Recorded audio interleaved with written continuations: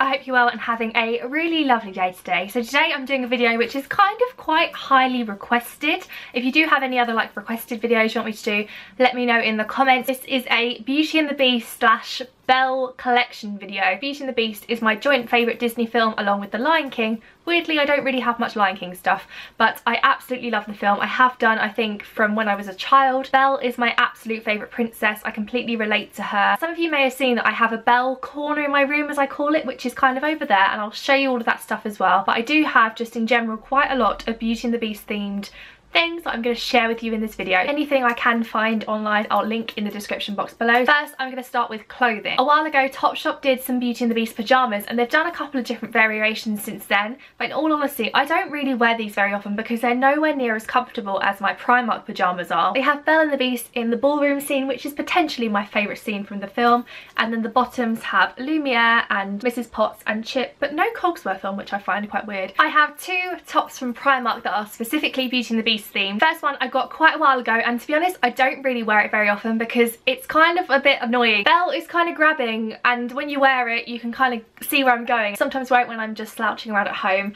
but it's from the scene where Belle is going for the rose in the West Wing and then a recent purchase which is still in Primark at the moment is this one which is grey and it says Tale as Old as Time and it has Mrs Potts and Chip and Belle and the Beast on there. I have one more top which is actually from Disneyland Paris and I bought it on my most recent trip in March. However I bought a large and I definitely shouldn't have because it is so big. You may have actually seen this top kind of hanging around on the internet because what happened was I went out drinking with some friends in Paris and I left this top in the bar we were in and then all of the guys I was with, all three men, tried it on. So there are some pictures online if you do some searching of three men in various shapes and sizes trying on this top and I still haven't worn it. Belle and Beast in the dance ballroom scene again and I just really like it and there was no way I wasn't going to buy it. I have two other pieces of clothing that are both from Soft Kitty Clothing. First one is this skirt. Thomas Kinkade, I think you say it Prince got Belle and Beast on there. It's just so beautiful and it's just a stretchy kind of skater skirt. My other item is a dress and it is this stained glass dress, I guess you'd call it. It's kind of like the stained glass window that they have in Be Our Guest and it has Belle and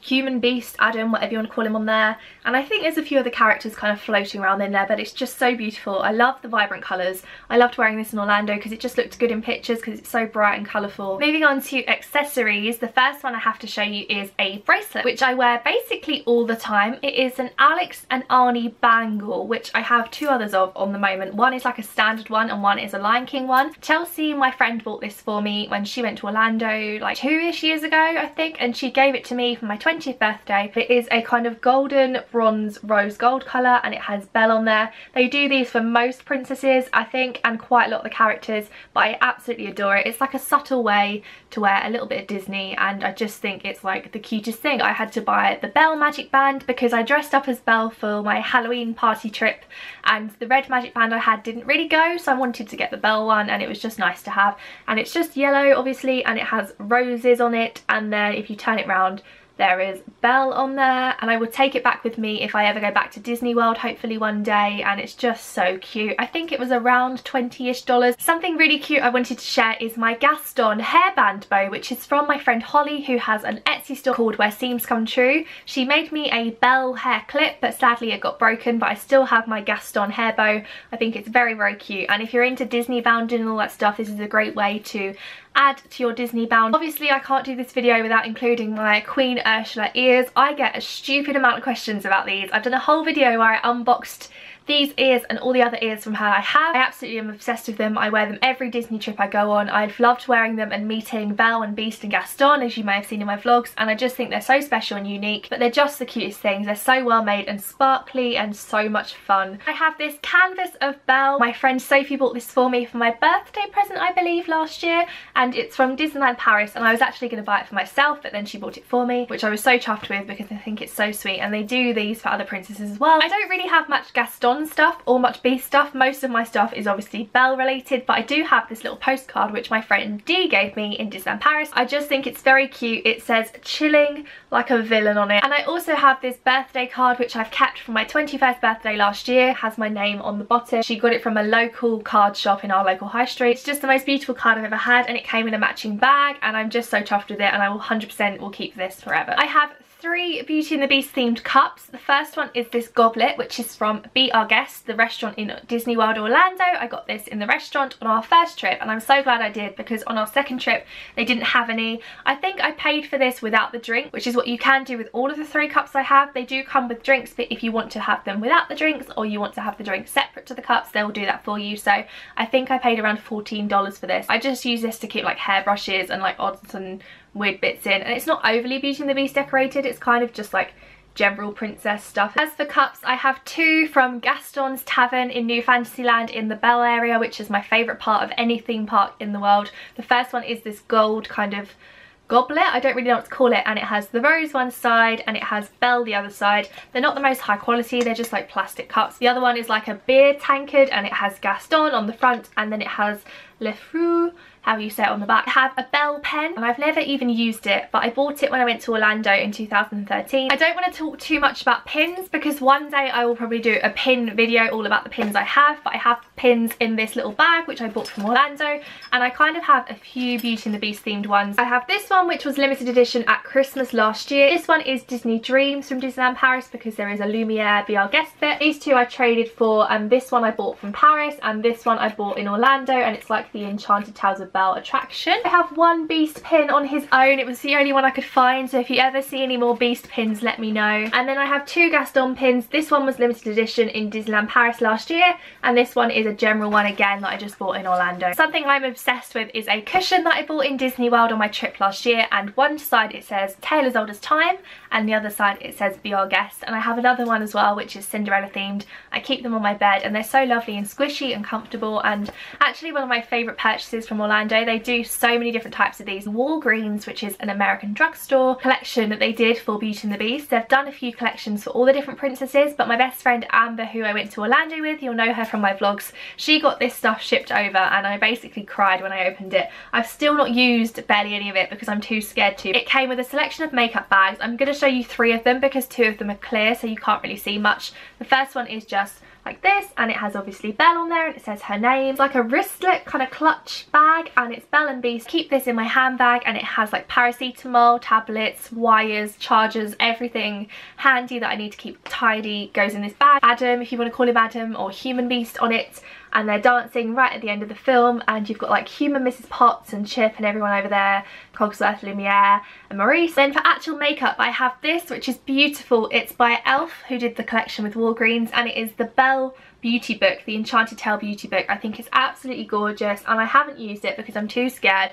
If you open it up it says for beauty is found within and has a mirror and then you have all of the makeup in there and all of the products are named after characters. Belle when she's in her blue dress and Belle in her ball gown but this is just so lovely and I will use it one day I just love it too much to use it at the moment if that makes any sense. I also have the Enchanted Tale eyeshadow compact. I don't want to use it and waste it or break it or have something happen to it. Just decided to not use it instead which is probably not wise. And then lastly I have four of the lip balms from that collection. First I have the Pleasant Peach which is the Mrs Potts one, red one which is Royal Rose, Strawberry Spell which has Belle and Beast on, Luminous Lemon which has Lumiere on. Actually a gift from a subscriber who came and met me at the O2, Wassy, and he bought me this Belle mug which I just love so much. I've seen this in the Disney store loads. I was going to buy it and then he gave it to me which is so kind of him so thank you so much because I use it all the time. I also have a Beast in the Bath Christmas ornament which I was given by a subscriber Deb. So thank you so much Deb. I don't have it to show you in hand but here is a picture of it because it's all packed up for Christmas stuff.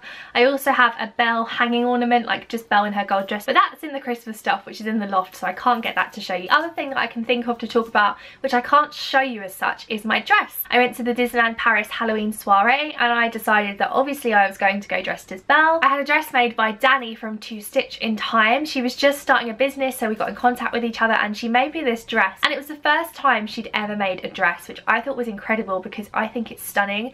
And I really wish I had an opportunity to wear it in my everyday life. And I felt quite like a princess when I wore it that night and there was children that genuinely thought I was the real Belle and it was just so special so I wanted to include that in this video as well. Make sure you go and check out her Facebook page and if you ever need anything commissioned or you're into cosplay get speaking to her because she is so talented. Now I'm going to show you everything that I keep in my Belle corner as to call it. When I first moved into this house with my nan she wasn't very keen on Disney. She still isn't but she didn't really want me showing it too much but over time she's become more lenient and it started with my corner of the room where I had some Disney stuff and over time it's kind of become not a shrine because I don't like that word because it makes me sound probably sadder than it is but just a collection of some of my most favourite Beauty and the Beast themed things that I have. The first thing I ever got that started off my corner of Belle stuff is this print which is from the brand Spineless Classics and they do all of these kind of prints in different books and films. The background of this print is the story, the original like non-Disney book I believe and then obviously it has the rose and I guess I don't know if you say that's Beast's claw or Belle's hand but I think it's lovely.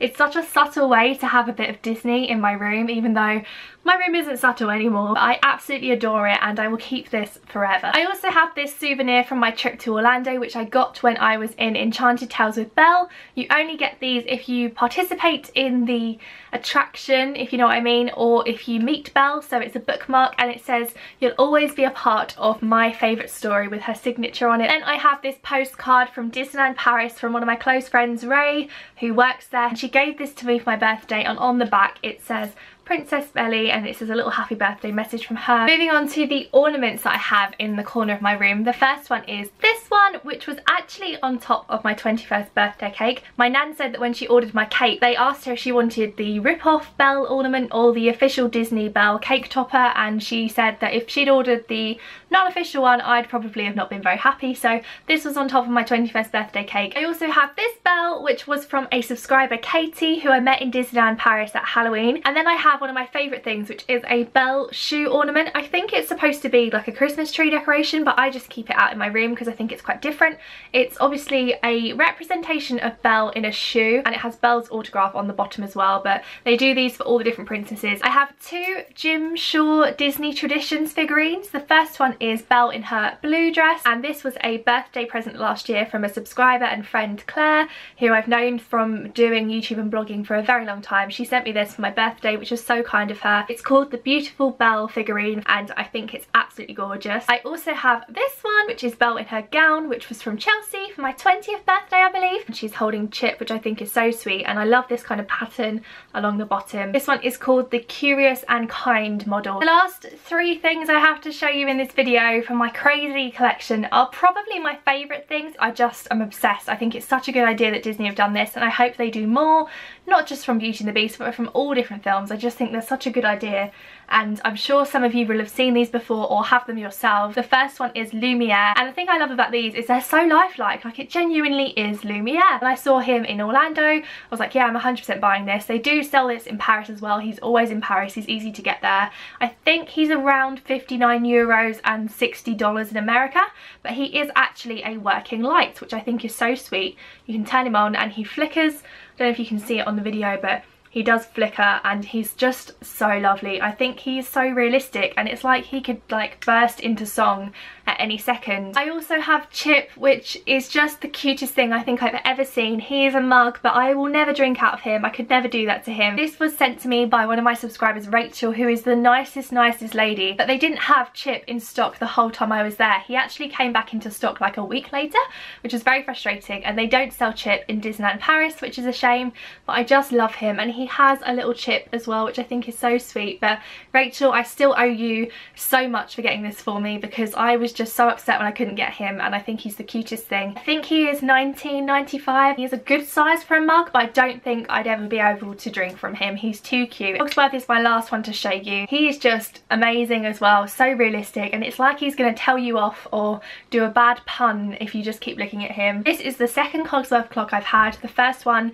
kind of broke a little bit. The clock hand stopped turning, which was fixable, but when I emailed Disney about it, they sent me a new one. Do be careful if you get these because they are very fragile like he's a very well made handcrafted thing I don't know how to explain it so if you do get one be very careful because they are quite delicate absolutely love him. He tells the time, he's a real clock, and the pendulum does swing as well. A little bit of black adhesive felt inside where the pendulum hits and you won't get that ticking noise that it makes which is very very loud but him, Lumiere and Chip are three of my most prized possessions and I just think they're amazing. So that is my whole Beauty and the Beast collection, I think. I hope I haven't forgot anything.